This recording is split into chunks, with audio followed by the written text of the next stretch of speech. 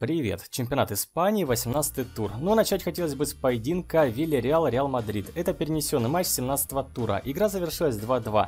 За 17 туров Реал не добрал уже 21 очко. Дублем за желтую субмарину отметился 34-летний Санти Касорла. Реал пропустил тот тур из-за Кубка мира среди клубов, но в следующем туре их ждала беда. Итак, вот 18 тур. Леванте и Жирона разошлись миром 2-2. Оба клуба уже на протяжении четырех игр не знают побед. Клубы средняки таблицы, но в Еврокубки попасть, конечно, могут, если будут побеждать, а пока там все плохо. Выделю Моралиса из Леванте. На его счету в чемпионате уже 6 голов. При счете 1-1 хозяева остались в меньшинстве, но одно очко добыли. Эспаньол тоже может замахнуться на Еврокубки.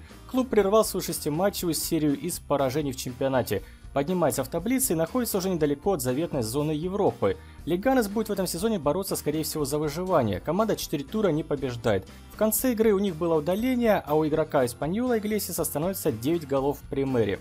Валядолит уступил на своем поле Раю Валикана, который забил быстрый гол на первой минуте 0-1. Что нужно для спасения? Правильно, пенальти. Его в конце зарабатывают футболисты Валядолида, но, к сожалению, не забивают. Болельщикам Валядолида нужен Валидол. Их команда не может выиграть уже три игры. Алавес и Валенсия. Матч мог претендовать на центральную игру в туре. Одна команда сейчас играет в Еврокубках, а другая, скорее всего, попадет туда на следующий сезон. У Валенсии в этом сезоне синдром ничьих, но в этой игре ничья была далеко. Заслужена победа Алавеса 2-1.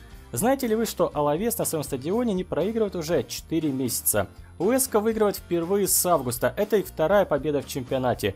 Неожиданно уступил Бетис и может за это поплатиться позициями в таблице. Волевая победа хозяев поля. Они выглядели попредпочтительнее Бетиса. Желаю им подняться с дна таблицы. Эйбар и Вильяреал сыграли 0-0. Интересная статистика. Эйбар играет пятый матч подряд в ничью, а Вильяреал третий. Видимо, подхватили синдром Валенсии. Надо отметить, что между собой на протяжении трех лет обязательно кто-то из них побеждал, ничьих не было. Севилья Атлетика, конечно же, центральный матч тура. Отличились тут лидеры двух команд Бен Идер и Гризман, ничья 1-1. Матч получился грубым, 12 желтых на 2 клуба. И обоих команд длительной беспроигрышной серии. У Севильи 7 матчей, Атлетика не уступает уже 14 игру подряд. Их последний поединок завершился 5-2. Это стала самая крупная победа Атлетика за 2018 год. Реал проигрывает в 18 туре Тиоски из Сосъедада 0-2. Со столичным клубом что-то творится непонятное. Видимо, нужно опять подыскивать нового тренера. Думаю, что так и произойдет. Если Дель Боске увольняют, который выигрывает Лигу Чемпионов, что говорить тогда про Солари?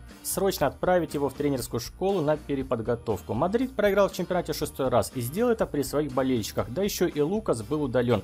В феврале последний матчик завершился 5-2 в пользу Реала. Хетафе и Барселона. Матч также привлекал внимание, сыграла первая и шестая команда таблицы. И к тому же, в самой последней игре Барселоне не удалось выиграть у Хетафе в феврале. А в этой игре отличился звезда Барса Месси. Он забивает четвертый тур подряд. Суарес также отличился в первом матче года. Барселона играет запасом, когда нужно ускоряется, когда надо прибавляет. А это значит, что с результатом у них не должно быть проблем. 2-1 каталонцы 9 матчей идут без поражений, а Хитавушка впервые уступает за 7 игр. Еще в этом туре сыграет Сельта Атлетик Бильбао. На данный момент забито 19 голов в туре. В прошлом туре с учетом игры Реал Вильяреал 22 мяча. Показано 3 красные, в прошлый раз 1. Таблица. Барселона отрывается на 5 очков. Атлетика имеет 35 баллов.